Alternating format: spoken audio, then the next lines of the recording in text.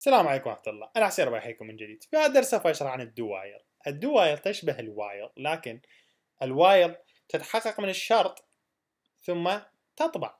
لكن ال do while تقوم بالعملية العكسية تطبع ثم تتحقق من الشرط.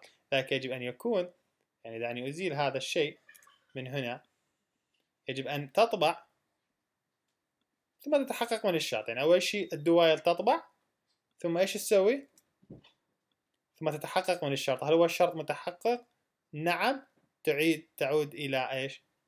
إلى أدراجها أكيد هنا الزيادة سوف تكون في هذه المنطقة. إذا بهذا الشكل. هنا يس المفروض.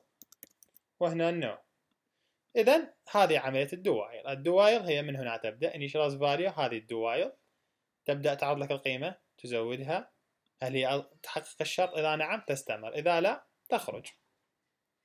إذا دعني أكتب لك أبسط مثال عن ال do while جئنا هنا إلى الكود الخاص بنا.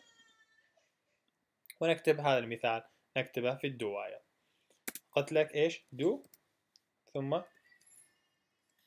while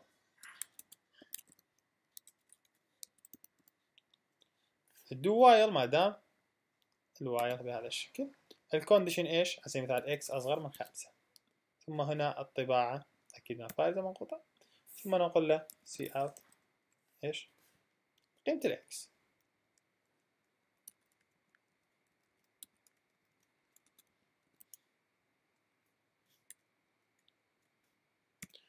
اذا do while يبدأ البرنامج. x يعمل له initialize. نبدأ do ننفذ الكود. ثم أكيد نزوده. ثم نتحقق ما دام الشرط غير متحقق نستمر بالتنفيذ. اذا هذه أبسط فكرة. عن ال do while لو نفذت البرنامج خطوة خطوة سيبدأ البرنامج بهذا الشكل. يأتي على هذه ال do ال x يطلع لك صفر ثم ال x يزودها بواحد. هل الواحد أصغر من خمسة نعم يعود يطلع لك.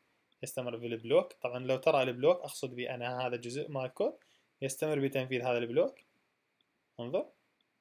إلى أن يكون ال x إيش؟ خمسة. هل الخمسة أصغر من خمسة؟ لا يخرج من ال while